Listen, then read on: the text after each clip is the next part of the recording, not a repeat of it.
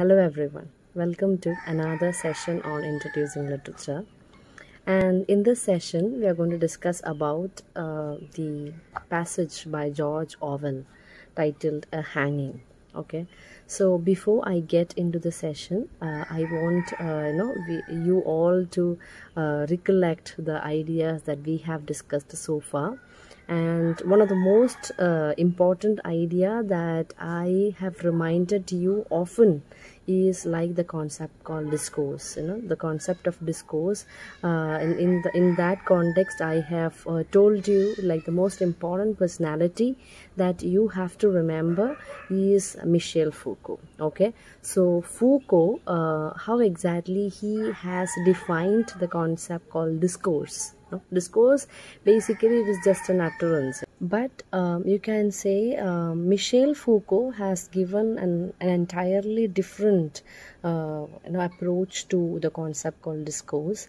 And for him uh, discourse means uh, ways of constituting knowledge knowledge constituting knowledge. Knowledge is something that is transmitted that is created and um, that is in fact formulated you know for various purposes.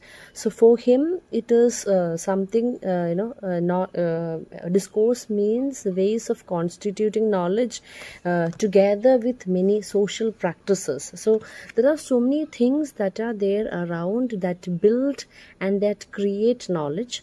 So how exactly it is formulated you know uh, that discussion is in fact being done through uh, you know a discourse a concept called discourse and according to michel foucault and um, he has also discussed the concepts like uh, subjectivity then power relations you know how exactly it, it uh, constitute a knowledge then the relationship between all these things.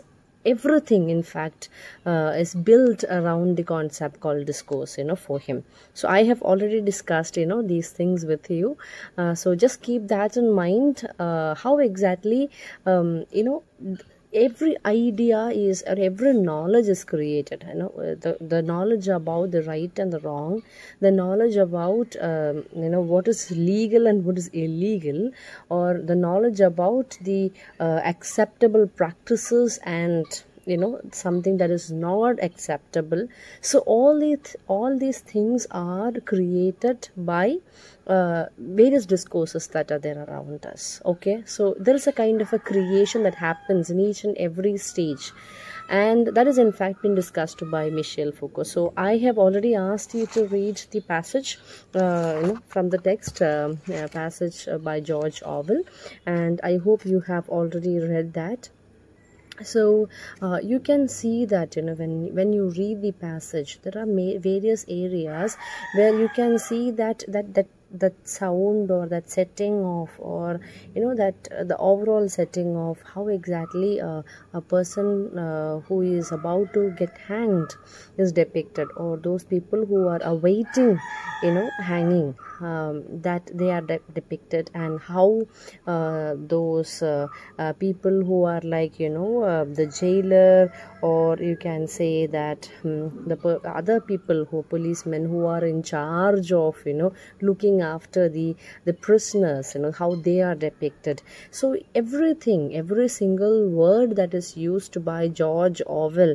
in fact portray you know uh, the general attitude that we should have uh, towards these people you know every every set of people be it those people who are in authority or those people who are the subjects uh, or you can say who are being dominated by others. Here exam uh, you know it is the prisoners.